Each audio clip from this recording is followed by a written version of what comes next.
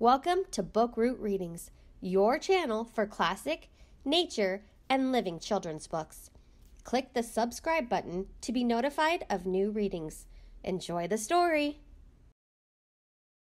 The Message of the Birds by Kate Westerlund, with pictures by Feridun Oral. The old owl began a story he had told many times over the years. Long ago, in a simple stable, a child was born. And as he lay, the animals of the stable tenderly watched. And there were birds in the rafters listening to the gentle cooing and gurgling of the baby. But what they heard in his voice were the words of a song that they would carry throughout the world. It was a special song of blessing, of joy, and goodwill. Why don't we sing it any more? asked the robin. People don't listen, said the partridge. Why not? asked the cuckoo. Perhaps it is the language they no longer understand, said a lark. But if they listened with their hearts, suggested the little robin, hearts understand every language, don't they? Some people think the message is for others and is not meant for them, said the owl. I think many have had their ears closed for so long they don't remember how to listen, said the hoopoe. The children?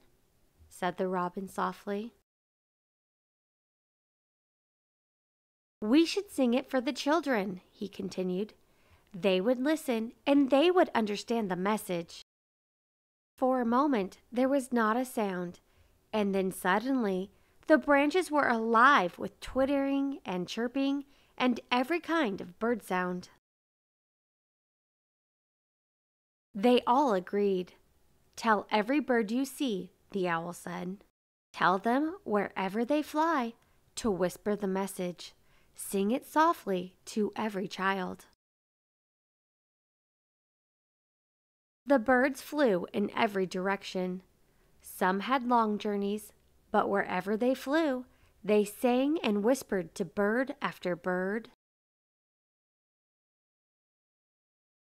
and to child after child. Then, one night, it was time. A big, bright, beautiful star shone down over the earth. A child came with a little lantern and reached out to hold the hand of another. She held the hand of her brother, and he reached for the hand of a friend. People came with candles, lights, and torches to see what was happening. They saw hands linked together white hands, brown hands, black hands. Children everywhere were joining together. The children had heard the message of the birds, and what had started as a whisper now resounded from shining faces all over the world. For, you see, hearts do understand every language. Hear us, hear the message. Let there be peace, peace on earth.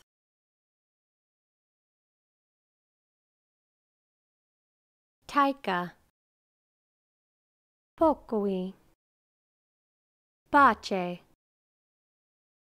Rauha. Shiahan Fangua. Erini. Barish.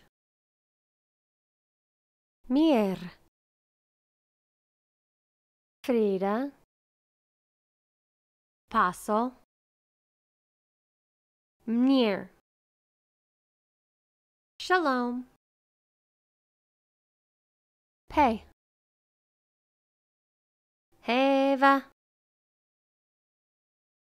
Fred. Past. Salam. Frieden Feda Amani.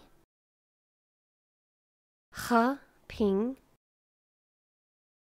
Baz. Kapayapaan. B. Cat. Sandy Pa. Peace.